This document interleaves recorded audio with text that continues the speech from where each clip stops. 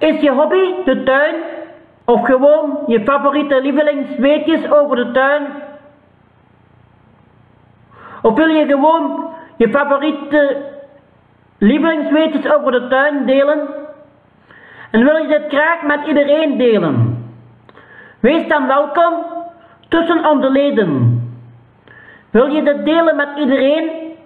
Kom dan naar de tuingroep, want je bent niet alleen.